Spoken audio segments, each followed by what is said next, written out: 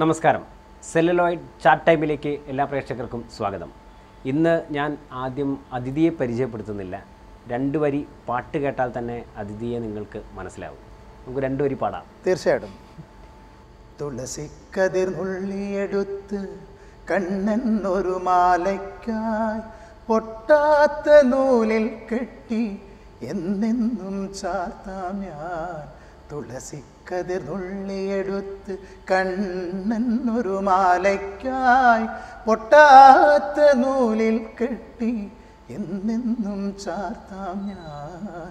തുളസിക്കതിർ നുള്ളിയെടുത്ത് കണ്ണാ കണ്ണ കണ്ണാ കണ്ണ കണ്ണ കണ്ണ കണ്ണ കണ്ണ പാട്ട് തുടരുകയാണെങ്കിൽ പാട്ട് ഇങ്ങനെ തുടർന്നുകൊണ്ടിരിക്കും. ഞാനൊന്നും ചോദിക്കില്ല. തുളസിക്കതിർ ജയകൃഷ്ണ. എങ്ങനെയാണ് തുളസിക്കതിർ ജയകൃഷ്ണ പേരിന്റെ പേരിന്റെ കൂടെ ഒരു പാട്ട് ചേരുക എന്ന് പറയുന്നത്? വളരെ ഭാഗ്യം ചെയ്ത കാര്യമാണ്. തീർച്ചയായിട്ടും. തുളസി ജയകൃഷ്ണ എന്നാണ് പേര്.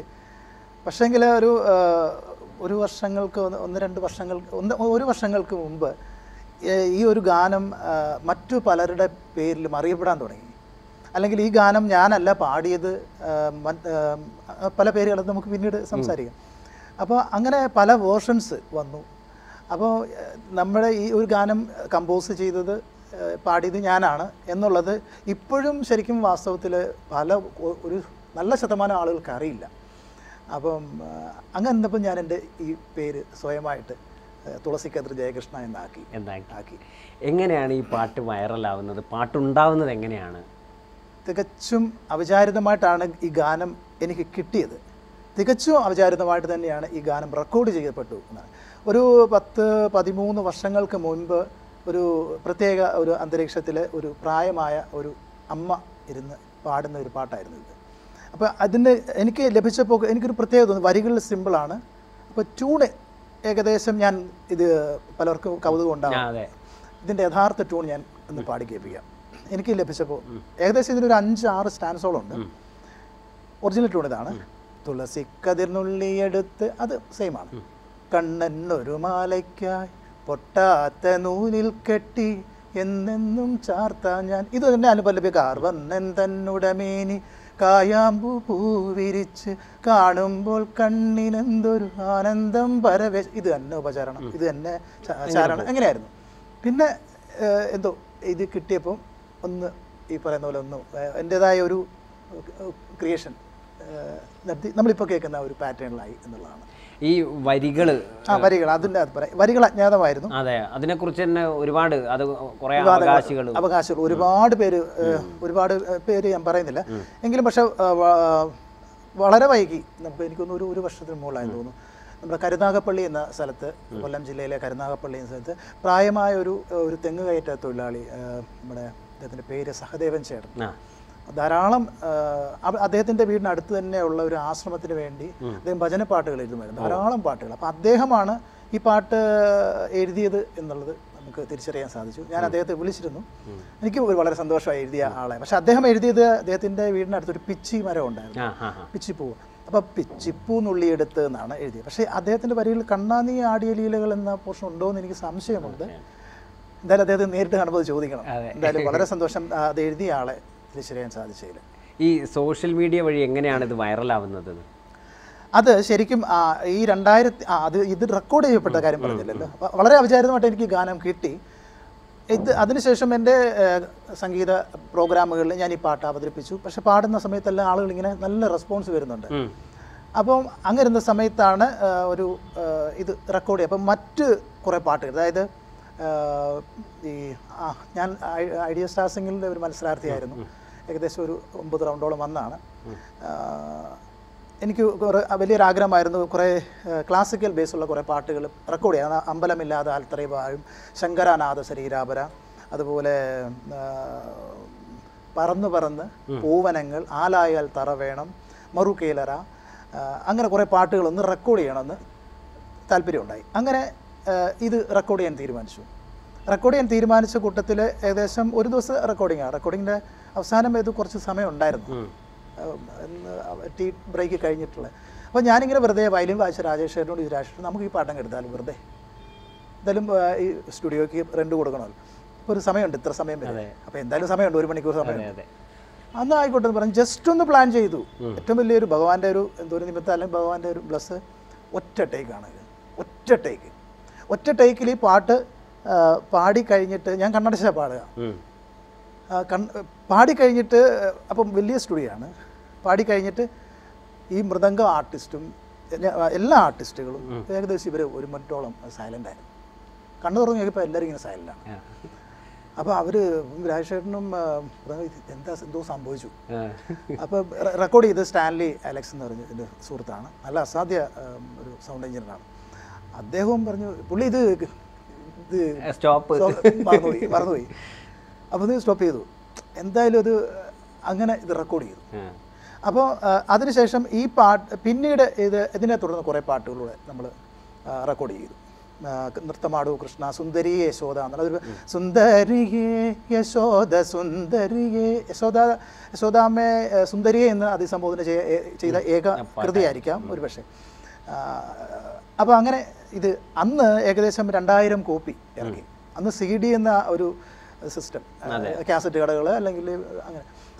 പക്ഷെങ്കിൽ ഈ ഈ സി ഡി ഒരിക്കൽ പോലും ഇത് ഒരു പത്തോ മുപ്പതോ നാൽപ്പതോ സി ഡി എങ്ങാണ്ട് വിറ്റ് പോകുള്ളൂ ആകെ പോയിട്ടുണ്ട് ആകെ പോയിട്ടുള്ളൂ. അത് കഴിഞ്ഞിട്ട് ഇത് പിന്നെ ഇതിങ്ങനെ ഇരിക്കും ആറു മാസത്തോളം ഇത് അങ്ങനെ വീട്ടിൽ തന്നെ ഇരിക്കുകയായിരുന്നു അപ്പോൾ അങ്ങനെ ഇരുന്ന സമയത്താണ് ഒന്ന് രണ്ട് പേരുടെ അഭിപ്രായം വന്നത്. ഇത് മൈക്ക് സിസ്റ്റം കാരണം ഉത്സവ വേദികളിലെ മൈക്ക് സിസ്റ്റം അവർക്ക് ഫ്രീ ആയിട്ട് ഇത് കൊടുത്തു. പിന്നെ ഞാൻ ചെയ്യുന്ന പ്രോഗ്രാം ചെയ്യുന്ന സ്ഥലത്തും അല്ലെങ്കിൽ ഫംഗ്ഷൻ ഞാൻ വിദേശത്ത് പോയപ്പോൾ സമയത്തൊക്കെ ഗുരുവായൂരൊക്കെ ഗുരുവായൂർ പോയ ഞാനൊരു ഒരു മേൽപ്പത്തൂർ ഓഡിറ്റോറിയത്തിൽ പ്രോഗ്രാം എന്റെ വഴിപാടായിട്ടൊരു പ്രോഗ്രാം ചെയ്തായിരുന്നു. പോയ വഴിക്ക് ഞാനൊരു അൻപത് സി ഡി എടുത്തു. പ്രോഗ്രാം കഴിഞ്ഞ് ഗുരുവായൂരിന്റെ അപ്പന്റെ ഇടത്തൊരു കടയുണ്ട്. ആ കടയിൽ ഇത് കൊടുത്തു. ഇപ്പോഴും പൈസ വാങ്ങിച്ചിട്ടില്ല. അങ്ങനെ ഇത് മൈക്ക് സിസ്റ്റംകാർക്കെല്ലാം ഫ്രീ ആയിട്ട് കൊടുത്തു. സുഹൃത്തുക്കൾക്കും ഫ്രീ ആയിട്ട് കൊടുത്തു. അതിൽ വിറ്റ് പോകുന്നില്ലല്ലോ അങ്ങനെ ഇപ്പോൾ ഒരു സി ഡി പോലും എന്റെ. ഇല്ല. അപ്പോൾ ഞങ്ങളുടെ ആർട്ടിസ്റ്റ് ആർട്ടിസ്റ്റുകളിലില്ല. അന്ന് ഈ യൂട്യൂബ് എന്ന മാധ്യമം ജസ്റ്റ് തുടങ്ങിയിട്ടേ ഉള്ളൂ. അതിനു മുമ്പ് നമ്മൾ നേരത്തെ പറഞ്ഞ പോലെ മൈക്കിൾ സിസ്റ്റംകാരാണല്ലോ ഇതിന്റെ തുടക്കത്തിൽ അവരോട് അതിൽ പ്രവർത്തിക്കുന്ന എല്ലാവരോടും. കാരണം അവർ ഈ ഗാനത്തിന്റെ ഫസ്റ്റ് പ്രൊമോഷൻ അവരാണ്. അവർക്ക് നന്ദി ഇപ്പം അറിയിക്കുകയാണ് എല്ലാവർക്കും.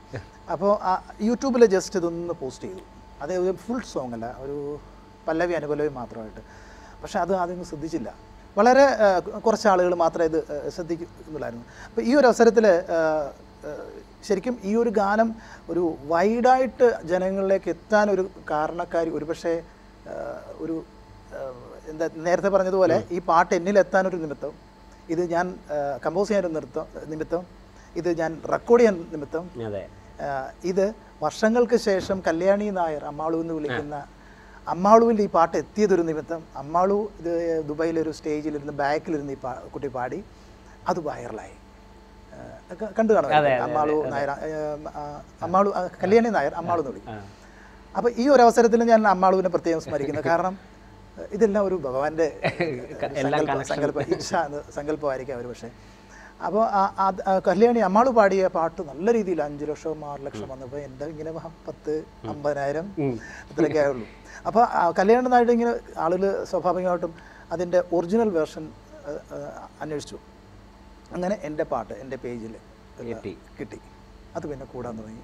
ഇപ്പോൾ അറ്റ് പ്രസന്റ് ഇപ്പോൾ ആ ഞാൻ കണ്ട പേജ് പല പേജുണ്ട് കണ്ട പേജ് ഇപ്പം തൊണ്ണൂറ്റി അഞ്ച് ലക്ഷത്തി നാൽപ്പത് നാൽപ്പത്തഞ്ച് അടുത്ത് കഴിഞ്ഞു. ഒരു പേജ് മാത്രം. പിന്നെ വേറെ ഒരുപാടുണ്ട്. മൊത്തം ഇപ്പോൾ ഏകദേശം ഒരു രണ്ട് രണ്ടര കോടി ആയിട്ട് എല്ലാ എല്ലാ വ്യൂസ് ആയിട്ടുണ്ട്. വ്യൂസാണ് കേട്ടോ. ആളുകളല്ല. വ്യൂസാണ് അപ്പോൾ അതിനുശേഷം അങ്ങനെയാണ് ഇതിന്റെ ഒരു ഒരു വൈറൽ കഥ. വൈറൽ കഥ.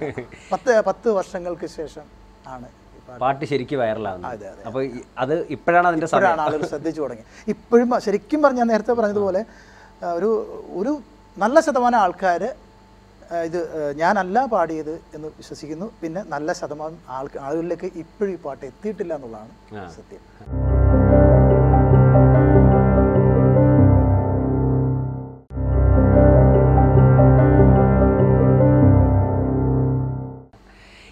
തുളസിക്കതിർ ജയകൃഷ്ണ. ഈ പേര് സ്വന്തമായി സ്വീകരിക്കുക എന്ന് പറയുന്നത് വളരെ അഭിമാനമുള്ള കാര്യമാണ് നമ്മുടെ പാട്ട് എന്നുള്ള രൂപത്തിലൊക്കെ. പക്ഷേ ഒരു പകർപ്പാവകാശ പ്രശ്നങ്ങളും മറ്റു കാര്യങ്ങളൊക്കെ വന്നല്ലോ. അതെ തീർച്ചയായിട്ടും. അത് വന്നത് ഒരു വ്യക്തിപരമായി ഒരു ആർട്ടിസ്റ്റിനെ സംബന്ധിച്ച് ഒരു വലിയ വെല്ലുവിളിയാണ്. ഇത് എന്റെതാണെന്ന് ഞാൻ തന്നെ ഉറക്കെ വിളിച്ച് പറയാൻ പറയുന്നത് ഒരു മനുഷ്യനെ സംബന്ധിച്ച് അതെ അതെ. ആദ്യത്തെ ആ ചോദ്യത്തിന് പറയാം. ഇത് എന്തുകൊണ്ട് പേര് മാറ്റി എന്നുള്ളത് ഇത് ഞാനല്ല ഇത് പാടിയത് അല്ലെങ്കിൽ ഇതിന്റെ ഒരു അതോറിറ്റി അത് മറ്റു പല സിംഗേഴ്സും എടുത്തപ്പോൾ എനിക്ക് വേണ്ടത്ര ഒരു ഇതാ ഞാൻ അംഗീകാരം പ്രതീക്ഷിച്ചിട്ടല്ല ഞാൻ പറഞ്ഞ്. ഇത് മരിച്ചുപോയ അനശ്വരനായ കലാകാരൻ തൃക്കുട്ടത്താനം സച്ചിദാനന്ദ ചേട്ടനാണ് ഈ ഗാനം ആലപിച്ചത്. ആയിരക്കണക്കിന് നിരവധി കണക്കിന് വേദികളിൽ പാടി സച്ചിദാനന്ദ ചേട്ടൻ പാടി അനശ്വരമാക്കിയ തുളസിക്കതിര് എന്നാണ് പറഞ്ഞിരിക്കുന്നത്. അദ്ദേഹം ഒരു വേദിയിൽ പോലും പാടിയിട്ടില്ല എന്നുള്ളതാണ് സത്യമായ കാര്യം. Radio Macfast ninety point four എന്ന ഒരു എഫ് എം റേഡിയോ എന്നാണ് ആർ ജെ ആയിട്ട് ആർ ജെ പ്രോ എന്റെ ഒരു ലൈവ് പ്രോഗ്രാമിൽ അദ്ദേഹം മരിക്കുന്നതിന് ഒരു ആറു മാസങ്ങൾക്ക് മുമ്പ് അദ്ദേഹം ലൈവ് പ്രോഗ്രാമിൽ ഓരോ ആഴ്ചയിലും ഓരോ അതിഥി ഉണ്ടാകും അദ്ദേഹം അപ്പോൾ ഈ പാട്ടിനെ പറ്റി പറയുകയും പ്രത്യേകമായിട്ട് അഭിനന്ദിച്ച് പറയുകയും ചെയ്തിട്ടുണ്ട്. അദ്ദേഹം പാടിയിട്ടേ ഇല്ല ഒരു വേദിയിൽ ഒരുപക്ഷെ എന്റെ ശബ്ദവുമായിട്ട് ഒരു സാമ്യം ഉണ്ടായിരിക്കും പിന്നെ ഒരുപാട് നമ്മൾ യൂട്യൂബിൽ തുളസി തുളസിക്കതിനുള്ളിരുന്ന് ഒരുപാട് പേര് പാടിയിട്ടുണ്ട്. നമുക്ക് സന്തോഷമാണ്. തീർച്ചും തീർച്ചയായിട്ടും അത് എല്ലാവരും പാടട്ടെ. ഭഗവാന്റെ നാമധേയമാണ്. ഒരു പ്രണയഗാനമോ അല്ലെങ്കിൽ സിനിമ സോങ് അല്ലല്ലോ ആൽബം സോങ് അല്ലല്ലോ എല്ലാവരും പാടട്ടെ എന്നുള്ളത് ഇതാണ് അപ്പോൾ അങ്ങനെ ഞാനല്ല ഇത് പാടിയത് എന്നുള്ളൊരു വന്നപ്പം സ്വയം ആശ്വാസത്തിന് വേണ്ടി തുളസി കതിർ ജയകൃഷ്ണ എന്ന് ആക്കിയതാണ് ഇപ്പോൾ രണ്ടാമത്തെ ചോദ്യം അതായത് കോൺട്രവേഴ്സി. ശരിക്കും ഈ ഒരു സമയത്ത് ഏതൊരു നമ്മളിപ്പോൾ ഈ നേരത്തെ പറഞ്ഞു രണ്ടായിരം കോപ്പി രണ്ടായിരം കോപ്പി എന്റെ സ്ഥലം തിരുവല്ല പത്തനംതിട്ട തിരുവല്ലയാണ്. നമ്മൾ നോക്കിയാൽ കുറച്ച് ഏരിയയിലെ ഇത് സ്പ്രെഡാക്കാൻ സാധിക്കുള്ളൂ. അപ്പം നമുക്ക് ഒരു നല്ലൊരു മീഡിയ വേണം അല്ലെങ്കിൽ ഒരു കമ്പനി വേണം. കാസറ്റ് കമ്പനി വേണം. എന്തോ അതും ഭഗവാന്റെ ഒരു തീരുമാനമായിരുന്നു. Millennium audios. മിലേനിയം ഈ ഒരു അവസരത്തിൽ സജി മിലേനിയം സജി മിലേനിയം സാറിനോടുള്ള പ്രത്യേകമായ നന്ദി. കാരണം ഈ ഒരു ഗാനത്തെ കേട്ട് ആദ്യമായിട്ട് എന്നെ വിളിക്കുന്നത് മിലേനിയം സജി സാറാണ്. സാറിനോട് അഗൈതവുമായ പറഞ്ഞ അറിയിക്കാൻ പറ്റാത്ത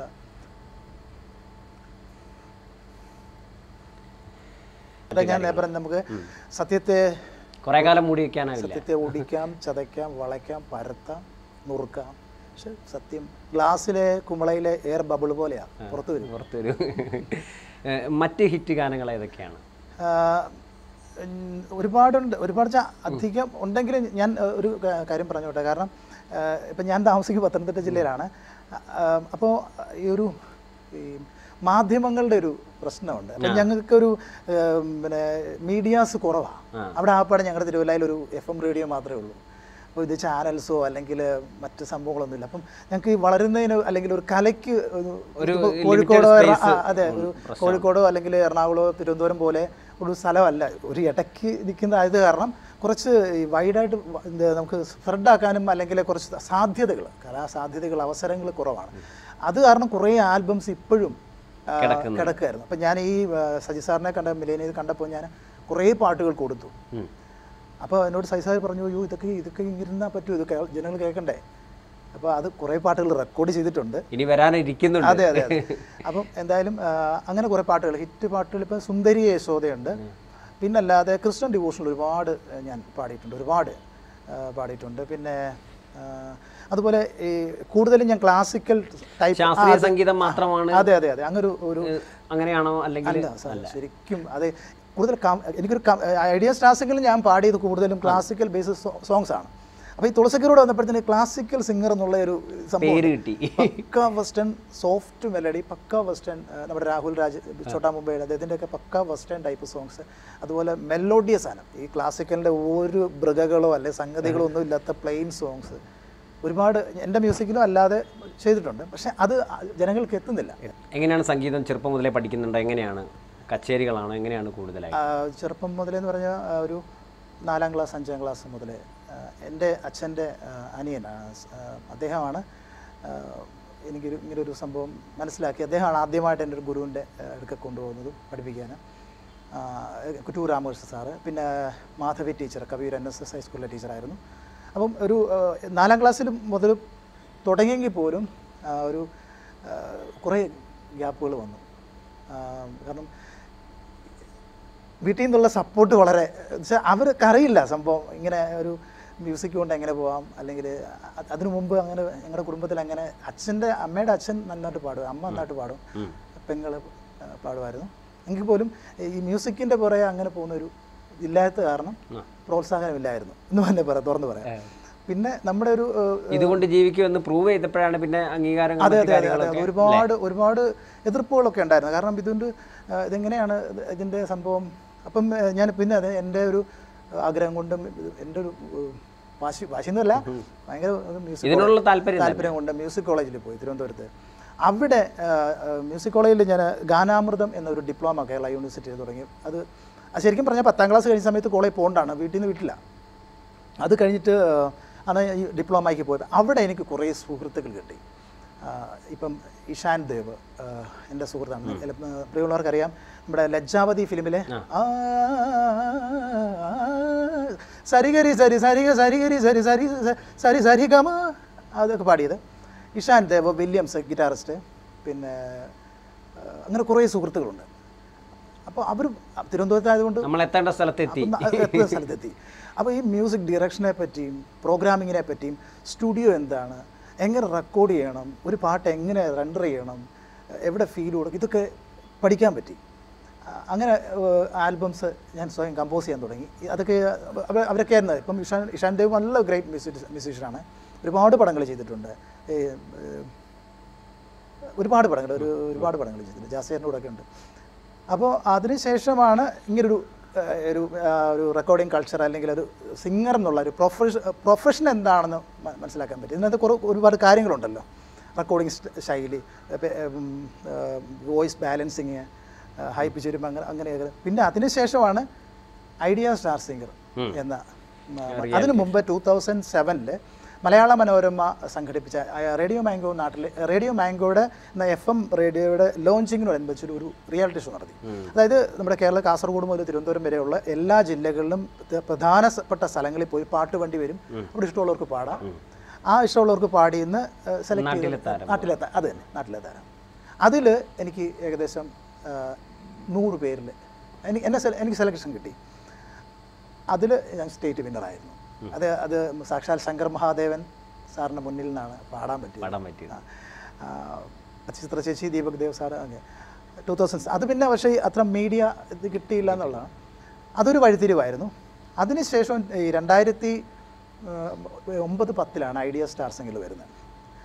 അതിന് പറഞ്ഞ പോലെ അതൊരു ഒരു പുലിമടയിൽ നിന്ന് പുലി പുലിമടയിൽ ചെന്ന ഒരവസ്ഥയായിരുന്നു ശരത് സാറ് അഞ്ചി സാറ് ചിത്ര ചേച്ചി അത് ഒരുപാട് തുടക്കം ഒരുപാട് ക്രിറ്റിസിസം ഒക്കെ എനിക്ക് കിട്ടിയിട്ടുണ്ട്.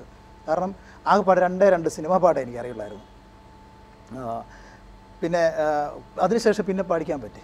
പിന്നെ അവരുടെ ട്രെയിനിങ് ക്ലാസ്സുകൾ ഒരുപാട് വിമർശനം സംഗതി മൃഗ ഞെക്കിപ്പാടുന്നു പിന്നെ സംഗ കൈയെടുത്ത് പാടുന്നു കണ്ണെടുത്ത് കണ്ണടച്ച് പാടുന്നു അങ്ങനെ ഒരു തരം ഒരു തരം എല്ലായിടത്തും മാർക്ക് കുറയുന്നു. പിന്നെ പിന്നെ ഓരോ റൗണ്ട്സുകൾ പ്രണയഗാൻ റൗണ്ട് നാടൻ പാട്ട് പല പാട്ടുകളെ പറ്റി. പിന്നെ എന്റെ എന്റെ എല്ലാം ഞാൻ തന്നെയാണ് സെറ്റ് ചെയ്യുന്നത് ആർട്ടിസ്റ്റുകളെ ഞാൻ തന്നെ എല്ലാ ഐഡിയാസ് എല്ലാം നമ്മൾ തന്നെയാണ് ചെയ്യുന്നത് അവിടെ ആർട്ടിസ്റ്റ് ഉണ്ടെങ്കിൽ പോലും. അപ്പോൾ അങ്ങനെ അതൊരു നല്ല ട്രെയിനിങ് ആയിരുന്നു. അനുഭവമായി അനുഭവമായിരുന്നു.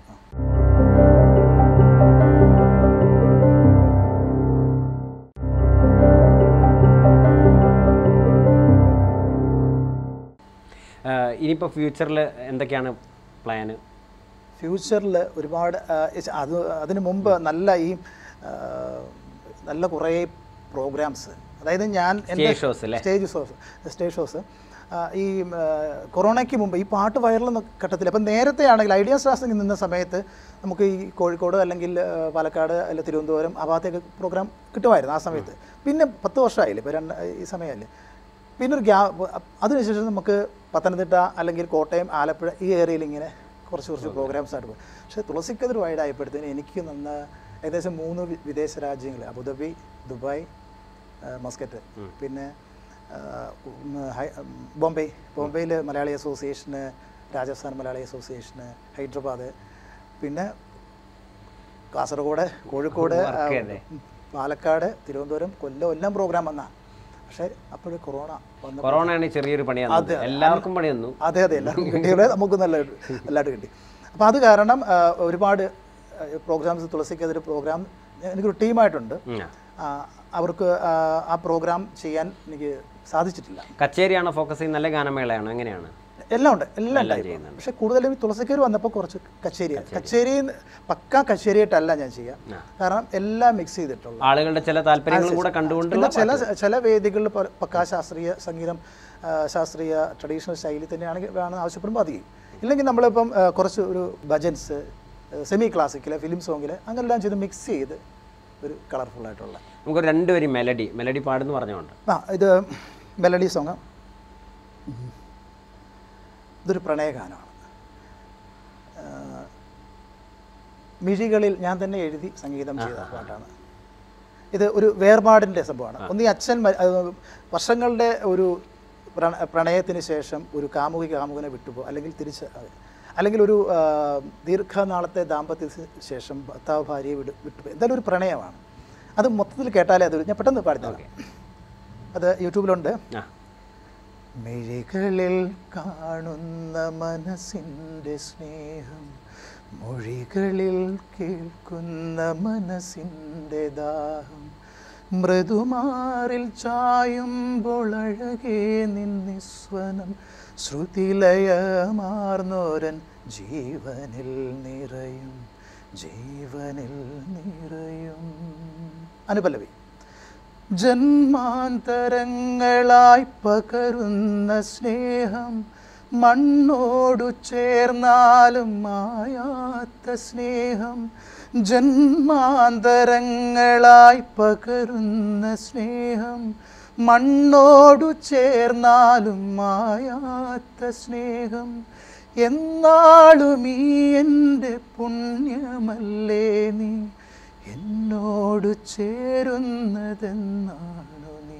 അങ്ങനെ പോകുന്ന സോങ്ങാണ് ഓക്കെ ഫാമിലി ഫാമിലി അച്ഛൻ അമ്മ പെങ്ങളുണ്ട്. പെങ്ങൾ വിത്ത് ഫാമിലി ദുബൈയിലാണ്. ഞാൻ ഞാൻ പിന്നെ കല്യാണം കഴിക്കാൻ തയ്യാറായി കല്യാണത്തിലുള്ള പരിപാടികൾ ആലോചനകളൊക്കെ നടക്കുന്നു. തീരുമാനിക്കട്ടെ? ഇപ്പോൾ ഒരുപാട് വിവാദങ്ങൾ ഒക്കെ ശേഷം ഇപ്പൊ ഏകദേശം പാട്ട് നമ്മളുടേതാണെന്ന് തെളിയിച്ചു. എന്തായിരിക്കും ഈ വിവാദത്തിന് പിന്നിൽ? അല്ലെങ്കിൽ വിവാദം ഉണ്ടാക്കിയ ആളുകളോട് അവസാനമായിട്ട് എന്താണ് പറയാനുള്ളത്? അവസാനമായിട്ട് എനിക്ക് എന്താ പറയണ്ടത്? ശരിക്കും ഈ സത്യം എന്ന് പറയുന്ന സംഭവമുണ്ട്. നമ്മൾ സ്വന്തമായിട്ട് അത് സ്വന്തമായിട്ട് ഈ ആർക്കും വിമർശിക്കാം പക്ഷെങ്കിൽ അത് സ്വന്തമായിട്ട് ഒരു കാര്യം ചെയ്തിട്ട് കാണിച്ചിട്ട് കാണിക്കുക. അല്ലാതെ വേറൊരാൾ ചെയ്തിട്ട് അതിന്റെ പിതൃത്വം ഏറ്റെടുക്കുക എന്ന് പറയുമ്പോൾ അതൊരു ശരിയായ കാര്യമല്ല നമ്മൾ എന്താ പറയുക വന്നിച്ചില്ലെങ്കിലും നിന്ദിക്കരുത്. അങ്ങനെ അത് ഇതിപ്പോൾ എല്ലാ ഫീൽഡിലും അങ്ങനെ ഉണ്ടല്ലോ. അപ്പോൾ അതിന്റെ അതിന് മെയിൻ കാരണം ഞാൻ പറയാം. അത് ഭഗവത്ഗീതയിൽ ഭഗവാൻ പറയുന്നുണ്ട് കലിയുഗമാണ്. അധർമ്മികളുടെ എണ്ണം കൂടി വരിക. സ്നേഹത്തിന്റെ എണ്ണം കുറഞ്ഞു വരും കുറഞ്ഞു വരിക. പുരാണങ്ങൾ അല്ലെങ്കിൽ മഹത്ത് ആചാര്യന്മാരെ എഴുതി വെച്ച വാക്കുകൾ മഹത്തുക്കൾ എഴുതി വെച്ച വാക്കുകൾ ആചാരങ്ങൾ ഈ ഭൗതികമായ കാര്യങ്ങളുടെ പുറകെ നടന്ന് നടന്ന് നടന്ന് എവിടോട്ട് നടക്കാനാ? അവസാനം ഈ പാദങ്ങളിൽ വന്നേ പറ്റുള്ളൂ.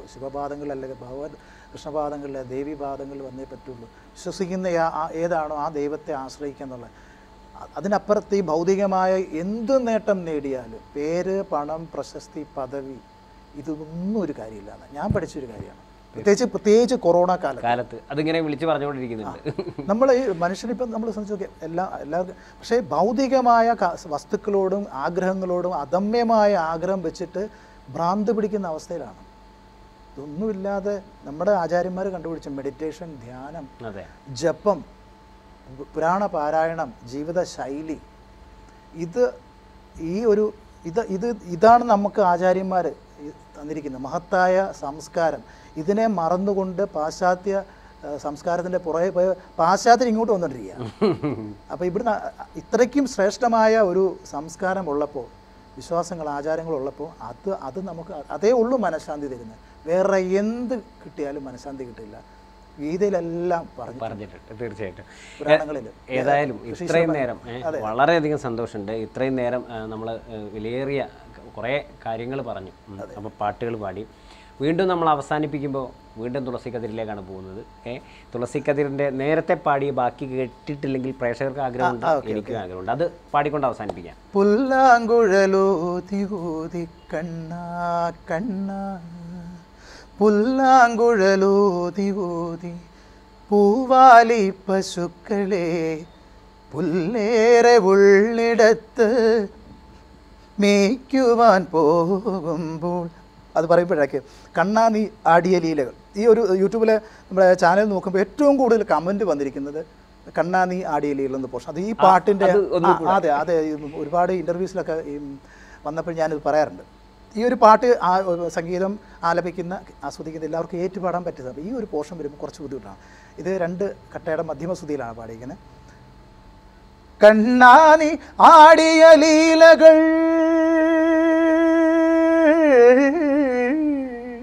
കണ്ണാനി ആടിയ ലീലകൾ ഒന്നൂടി ആടൂലേ കണ്ണാനി ആടിയ ലീലകൾ ഒന്നൂടി ആടൂലേ കണ്ണാനി ആടിയ ലീലകൾ ഒന്നൂടി ആടൂലേ ഒന്നൂടി ആടൂലേ കണ്ണാ കണ്ണാ കണ്ണാ. ഒരുപാട് പുതിയ പാട്ടുകൾ പ്രേക്ഷകർക്ക് കേൾക്കാനുണ്ട്. അതെല്ലാം വരാനിരിക്കുന്നു. അതിനുശേഷം അത് അതോട് പറഞ്ഞിട്ട് നമുക്കൊന്ന് വൈൻഡ് അപ്പ് ചെയ്യാം. തുളസിക്കതിന് ശേഷം കൃഷ്ണായനം എന്ന ഒരു ആൽബം ചെയ്തു. അപ്പോൾ തുളസിക്കതിൽ അത് മറ്റു പാട്ടുകളൊക്കെ ഒരു അല്പം ശാസ്ത്രീയ സംഗീതത്തിന്റെ ഒരു അസ്ഥിത കൂടുതലുണ്ട്. സെമീസ് എന്ന് പറയാം. പക്ഷെ അതിനുശേഷം എനിക്ക് ഒരാഗ്രഹം ഉണ്ടായിരുന്നു. ഈ നമ്മുടെ ഭാഗവത സപ്താഹ യജ്ഞ വേദികളിലെ ഭജന കഴിഞ്ഞിട്ട് അല്ല ദീപാരാധന കഴിഞ്ഞിട്ട് പാടും. ആർക്കും ഏറ്റുപാടാവുന്ന സിമ്പിൾ വരികളും സിമ്പിൾ സംഗീതവും. അതുപോലെ കുറേ പാട്ടുകൾ ചെയ്യണം. സാധാരണക്കാർക്ക് നമ്മൾ ഈ ഭജന പാട്ടുകാർ ഒരുപാടുണ്ട് അവർക്ക് വേണ്ടി. അപ്പോൾ സാധാരണ ഭക്തന്മാർക്ക് വേണ്ടി ചെയ്യണമെന്നുണ്ട്. അങ്ങനെ കൃഷ്ണായനം എന്ന് പറഞ്ഞൊരു ആൽബം. അപ്പം ഇതിന്റെ വരികൾ തേടി ഞാനിങ്ങനെ നോക്കിയപ്പം അവർ ഈ പറഞ്ഞ പോലെ പത്ത് എൺപത് എഴുപത്തഞ്ച് എഴുപത്തെട്ട് വയസ്സുള്ള ഏകദേശം ഒരു നാല് ഹാർട്ട് ഓപ്പറേഷനോ കഴിഞ്ഞ ഒരു അറുപത് വർഷമായിട്ട് സപ്താഹയജ്ഞ പാരായണം ചെയ്യുന്ന ഒരാളെ എനിക്ക് ഭഗവാൻ കൊണ്ട് കാണിച്ചു തന്നു. വള്ളംകുള വള്ളംകുള സുകുമാരൻ എന്ന് പറഞ്ഞ ആളാണ്. അദ്ദേഹം എഴുതിയ പാട്ടുകളാണ്. ഇപ്പം മിലേനിയത്തിനാണ് ഞാനത് സൈസാറിനാണ് കൊടുത്തിരിക്കുന്നത്. അതിലെ എട്ട് പാട്ടുകൾ നമ്മളിവിടെ വീഡിയോ ഷൂട്ട് ചെയ്ത് കഴിഞ്ഞു. താമസിയാതെ ജനങ്ങളിലേക്ക് എത്തും. പ്രേക്ഷകർ കാണുക. അതെ അതെ. അപ്പോൾ ആ അതാണ് ഒരു സംഭവം. അത് അതും തീർച്ചയായിട്ടും തുളസിക്കെതിരെ തീർച്ചയായിട്ടും അത് ഏറ്റെടുക്കണമേ. കേൾക്കണമേ എന്ന് അഭ്യർത്ഥിക്കാം. ഓക്കെ നന്ദി. നമസ്കാരം.